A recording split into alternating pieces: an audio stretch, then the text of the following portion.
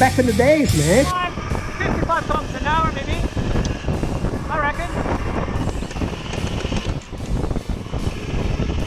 Uh, maybe 55. So this is like 2012, 2013, something like that. That's when I started to get into electric bikes, man. You couldn't buy anything ready. Uh, you need to make your own machine. And this was the coolest frame off-road, downhill, long travel suspension here. And yeah, no room for batteries, man. But whatever, you just put a uh, battery and a handlebar like I did here. Okay, yeah, it doesn't really feel too weird. Yeah, but most of the people, they actually had batteries mounted like inside the backpack and a little wire coming through the motor controller and the motor. So that's how I did in all my bikes back in the day. And yeah, some people end up putting the battery mounted right here, but yeah, it's a bit painful when you dismount from the bike and hit your balls every time on the battery. Or you, some people end up putting here and limiting the travel so the tire never end up hitting the battery. But yeah, it was a bit tricky. You need to be creative. So yeah, that was actually a very cool solution back in the day. People be like, oh my God, that's amazing. Why didn't I think that? All right, so this is the battery there. So there's actually two small batteries linked in series here. Man. I'm gonna explain, I'm gonna explain, I'm gonna explain. Okay, so you see here, this is the GNG uh, motor. It's got double chain. This is the motor here in the middle here. Oh, this guy, beautiful, man. So there's a reduction pulley here happening. And then 48 volts, motor controller right here. Kelly, 48 volts. Okay, this was, oh, Kelly, man, good brand. Ooh. And then you got two 21 volts batteries, man. So why two 21 volts? Why not link them all in series, man? Haha, you're gonna understand when I start explaining the charger, okay? but here you see, so there's six cells in series here. One, two, three, four, five, six. Okay, so they're connected in series to give you the voltage and five cells in parallel here. Okay, so one, two, three, four, five. So they give you the range, the amp hours you see when you're going by a battery, okay? And then here, so you come, you have gonna have like two pairs of wires and you'll be like, why? Why is like not, why is so confusing? So you're gonna have this connector here. I just pull things apart because I'm fixing something. And then you're gonna plug into this, okay? And then here, we're actually gonna be linking the batteries in series. See this red wire here?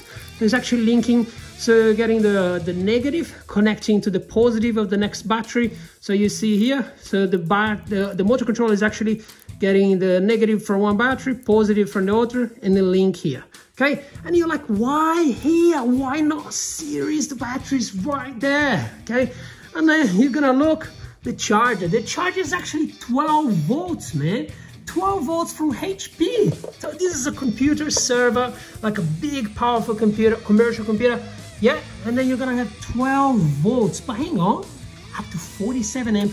Hang on, 12 volts charger, 21 volts battery, and 48 volts controller. How do you get to these numbers, man? How do you all add up? Everything was weird. You just gotta do what you gotta do. You gotta figure out things, and yeah, so the clever solution was actually connectors, man. So here you're gonna split, or, or, or like when you plug here, you connect in series. When you disconnect uh, and connect to the charger, you connect in parallel. So these chargers actually 12 volts here. So this is modified. See, it's all handmade technology here, man. So my friend installed these uh, connectors here. So because normally it would be just as gold plate things, so you don't have the connection there. Okay, so it feeds 12 volts here to the charger. So this converts 12 volts to 21 volts. Magically converts here, and then you're gonna connect to the battery. All right, but this is pumping a lot of power, right? And then what happened is you don't have a battery management system. No one trusted battery management system back in the days, okay?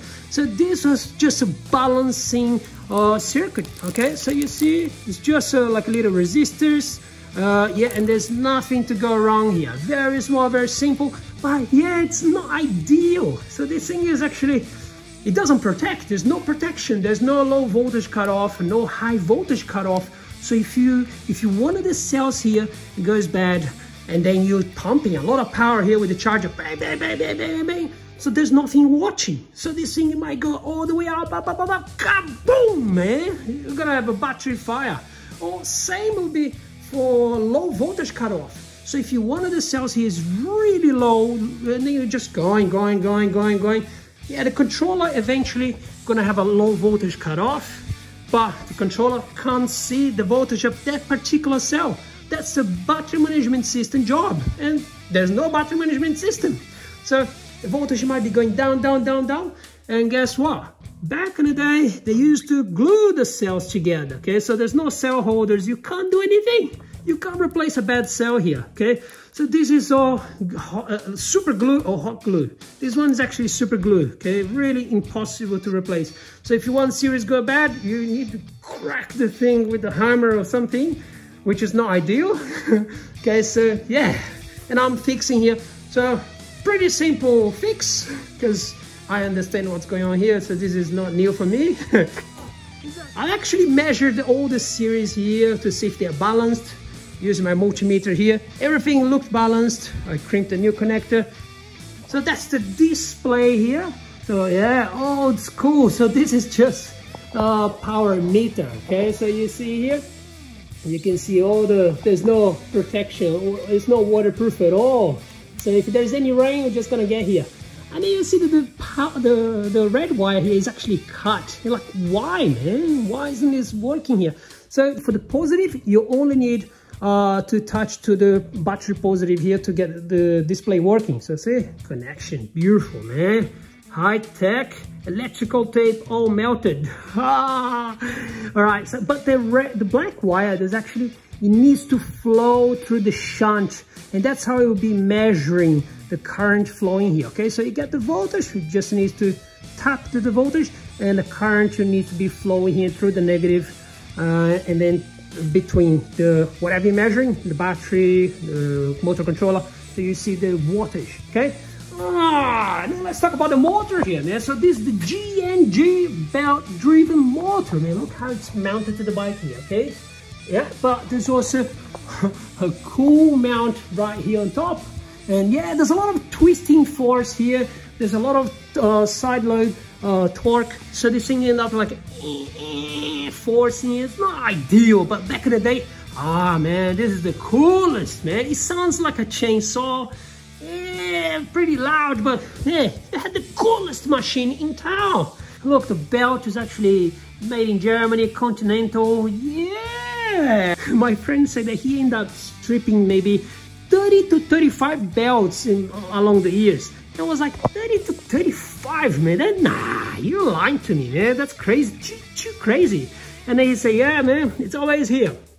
So here there's a lot of torque in a very small area, okay? So he always end up stripping just like a, a, little bit of the belt and that's it. The belt's gone, man. Depending the gear you are and how much power you're cranking there, uh, yeah, you end up stripping. See you later, man. Hmm. Right, so I just finished fixing the bike so you can see the motor spinning here. So yeah, I did a bit of tidying up, put the cover on, uh, organized the wires here, put the new contacts here. That, that was a problem here.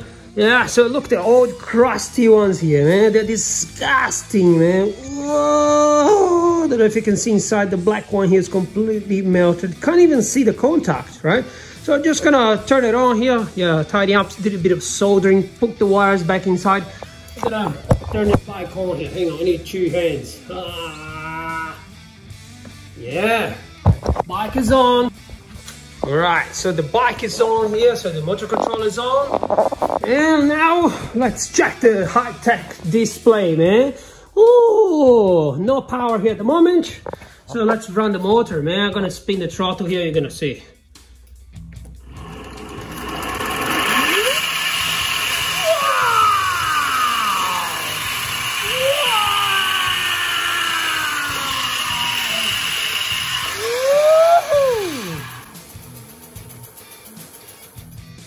I'm gonna be plugging the battery to charge. So you see 12 volt charger, I'm gonna turn it on here. Yeah, fan is running and it's saying here 20 amps, 21.6 volts for 6S battery So disconnect the bike here, plug into the charger. So let's see what happens. Eh?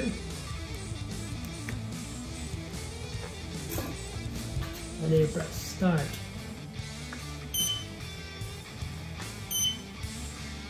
Yeah, look. Bang! Another fan. 10 amp. 22, 23 volts. Yeah. That's gonna take some time now.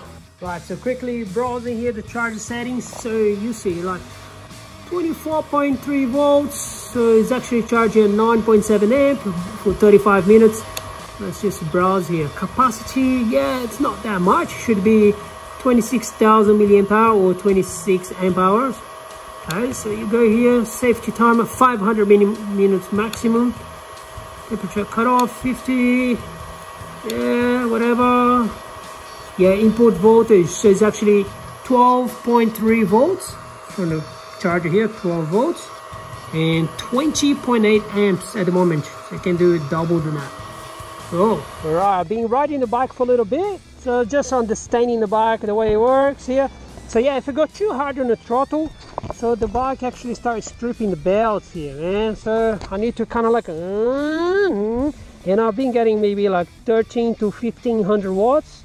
Voltage dropped a little bit, so I don't know now. So let's just go and do a little test.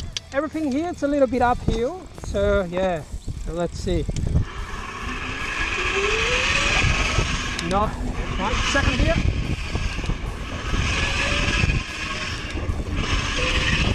Oh, yeah.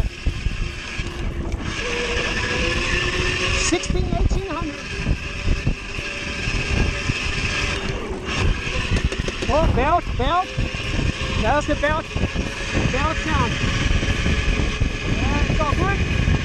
Oh, uphill, uphill, uphill. Ah, I need to change gear, I need to change gear. Oh, it's still going. Oh, hopefully I didn't destroy the belt. Yeah. Ah, wrong gear, wrong gear. Ah, painful, man. Ah, this was the best technology back in the day. Ah, wrong gear, wrong gear. Gonna destroy the belt. Too much power as well.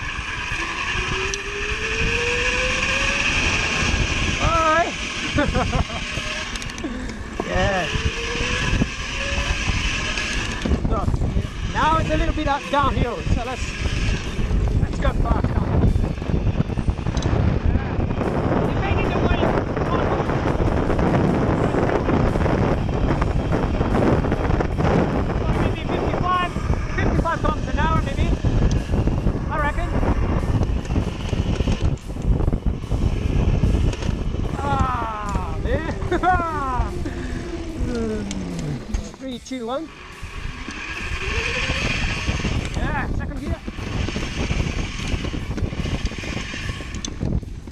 That's the bike, man. Oh, very ghetto, but that's what you had back in the days, man. Too many things to worry about. Oh, stripping belts and then chain, lubrication, tension, the 12 volt charger that goes to 21 volts that goes in parallel and then we disconnect and connect in series to run the bike here. Uh, what do you think, man? Uh, I want to know. Please hit the subscribe button and subscribe. Subscribe if you want to feel the power, man. Power!